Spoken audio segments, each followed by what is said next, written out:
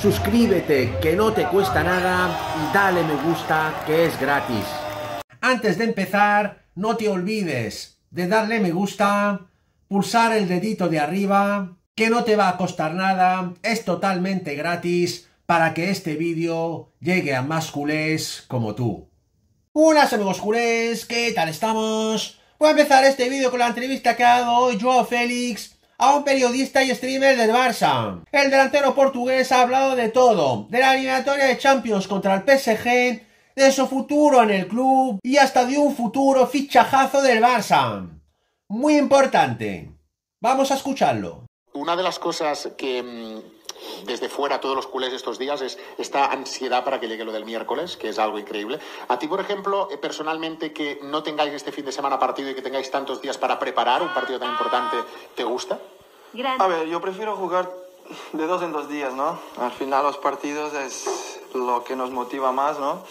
Y, pero sí para este partido, que es un partido muy importante, sí que viene bien tener muchos días para preparar bien el partido, para asimilar las ideas bien, ver lo que tenemos que hacer ofensivamente, defensivamente, eh, y pues viene bien este, este parón del fin de que no tenemos partido para, para preparar bien, bien el partido. ¿Sensaciones? Bien, bien, bien. ¿Sí? Bien, bien. Yo y todos estamos, estamos, estamos muy bien, muy a gusto, muy motivados y con confianza, que siempre es lo más importante. Claro, el culé está un poco preocupado por la estrella del PSG, eh, por Kylian, ¿no? De cómo se va a parar a Kylian, Kylian, Kylian. Al final ya no es parar a Kylian, es que si el Barça hace su juego y hace, y hace lo que hemos visto en estos últimos partidos, se puede plantar cara a cualquiera. Sí, claro que tenemos en cuenta las armas que tienen ellos, ¿no? Eh, Mbappe, como todos sabemos, eh, Dembélé también lo conoce muy bien.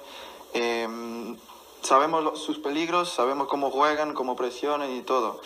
Y claro que hay que controlar un poco, un poco en eso, pero hacer nuestro partido como, como hacemos siempre, con las ganas a tope. Y pues seguramente va a ser un partido muy disputado y esperemos que, ganamos nosotros. Ahora que podemos hablar un poquito más con, Piqué, con Jerry, cuando ha dejado todo esto, eh, el otro día cenando dice, yo es que eh, hay partidos de la liga que me daban mucha pereza, me daban mucha pereza, evidentemente tiene la edad que tiene, ¿eh? Eh, dice, pero cuando llegaban un Madrid, un Atlético, llegaba la Champions, era algo que me ponía muy, muy caliente y ahí que ya no existía nada.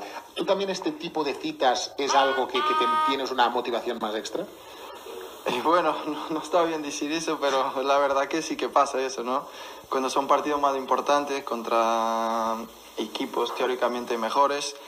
eh, ¿Perdón?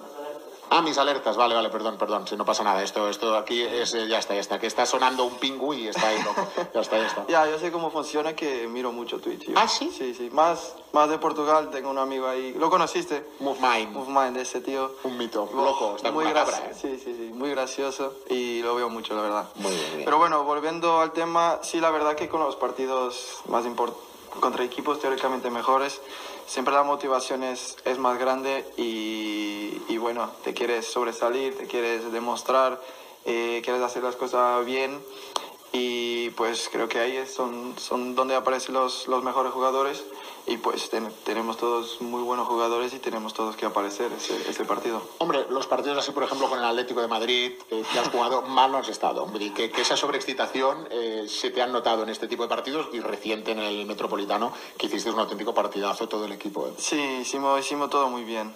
Como he dicho, estos partidos siempre la gente está motivada, tiene una motivación extra. Y pues no, no solo yo, pero, pero todos estaban, han estado muy bien y las cosas salieron perfectas. A nivel personal, eh, ¿cómo vives eh, cuando llegas a un club como el Barça? Porque en un club como el Barça se multiplica todo por 70.000. De Ya. todos los medios que estamos, cualquier cosa que digas eh, se saca de contexto. ¿Esto cómo lo has llevado, Joao? Bueno, yo no quiero comparar clubes, ¿eh? que no venga ya. No, no, que no, no, no, no queremos polémicas. Ah, no polémicas. Eh, da igual, cualquier cosa que digo ah, viene. Pero en Benfica... ¿Estás cansado de esto por eso? No, ya me da igual completamente. Ya al inicio sí que, bueno, estaba aprendiendo todo, ahora ya. Yo comento por veces en TikTok y todo. Si están atentos, comento los, los posts que hacen y todo. Ah, muy bien. Eres, Bromeando, eres de enviar ahí algunas sí, bromeando con la gente. Eh, pero bueno, yo cuando estaba en Portugal, eh, estaba en Benfica también. Que ahí en Portugal se habla mucho más de Benfica que de todos los clubes, ¿no? y bueno, ya venía preparado de ahí. En Athletic no se hablaba tanto porque acá tienes Madrid y Barcelona. Eh, y ya venía preparado de, de, Benfica que cualquier cosa que digamos eh, se habla o se intenta quitar del, del contexto, ¿sabes? Eh, y bueno, aquí es un poco lo mismo, que también es el equipo grande de, de España y, y, bueno, ya, te, ya, estaba, ya estaba preparado de, de, ahí. Ahora que has dicho de Benfica, Benfica un club muy parecido en Barça a nivel de masía, a nivel de, de formación. Sí, sale mucho. Hay muy sí, buen sí, futbolista allí. ¿eh? Antiguamente eh, se decía que era de Sporting la mejor academia porque bueno, salió Cristiano, Figo, eh, Cuaresma, muchos buenos jugadores que, que, han hecho una carrera muy buena. Eh, pero la verdad que últimamente eh, están saliendo muchos y buenos de, de, Benfica, como se puede ver por lo que hacen, por las ventas que nacen, que venden muy bien. Eh, y bueno, en Barça también creo que es el club de España que, que donde salen los, los, mejores jugadores. Como podemos ver, tenemos muchos en el equipo de, de la Masía, que a un joven nos ayuda mucho y están preparados para competir. Ah, y sí, en ese termo de comparación de la formación, quizás de las, los mejores del mundo. ¿Te sorprende esa mentalidad que tienen los Cubarsí, los Lamin con 17, 16, 18 años, eh, Joao? Eh, la verdad que sí, porque el tiempo también va, va pasando y la gente va amadureciendo más rápido, ¿no? Eh, hace cinco años atrás los chicos de 16 no pensaban como los que piensan hoy, ¿sabes? Eh, todos están madurando muy rápido eh, y bueno, la verdad que sí, que me sorprendió Lamin, Cubarsí principalmente, que están jugando más, que tienen una mentalidad muy buena y bueno, después cabe a ellos también, la gente de su entorno, ayudarles a, a manejar todo eso porque y yo hablo porque ya pasé, paseo, ha pasado por muchas situaciones así cuando era, cuando era joven, principalmente con las críticas y todo, porque cuando vas bien, estás bien, ¿no? Pero lo peor es cuando te critican y eso. Eh, pero acá intento siempre ayudar también a todos los jóvenes, eh, porque como he dicho, ha pasado también, sé cómo son las claro. cosas. Y bueno, si se siguen con los pies bien en el, en el suelo, van, van a hacer carrera aquí en el Barcelona hasta, hasta el final. Escúchame, quería hacerte dos preguntas antes que entre Carlos. Eh, hay un compañero tuyo de selección que cada año hablamos de él, que se llama Bernardo. Bernardo, yeah. ¿Qué hacemos? Pues traerlo, que lo traigan, que pff, lo conoce, ¿no? ¿Has visto jugar? Un poco. Bueno, y como persona aún mejor. ¿Sí? Sí, sí, sí, sí, sí. Es un tío fantástico. Pero hay gente que dice es que ya está grande, ya está mayor. ¿Qué dice? Ahora, si lo, ¿qué edad tiene? ¿29? 20, en el de estos se mueven, sí. Es de la generación de Cancelo, ¿no? Sí. Creo que sí. Que, eh, si ahora los jugadores duran hasta 35, 36 siendo titulares en los mejores equipos. ¿Tú has hablado con Bernat de, de Barcelona o no? Sí, me pregunta. Eh, es que lo, aparte tiene familia aquí. La verdad, su la cuñado. Mujer. No. Cuñado, cuñado. Cuñado, cuñado. Su, la hermana de la mujer, su novio es de acá, ¿verdad? Él ha estado aquí en Andorra hace unos días. ¿Ah? Y, y, bueno, sí, la verdad que ella, ella, me preguntó cómo son las cosas aquí, eh, cómo es el clima. Tú le has dicho que estamos bien, ¿no? Muy bien. Que a nivel de club estamos un de poco todo. tiesos, pero, pero que hay buena no, gente. No, yo he dicho todo bien para que, para que venga, ¿sabes? no, no, tuve que mentir en algunas cosas para que venga. No, no digas esto, no digas esto.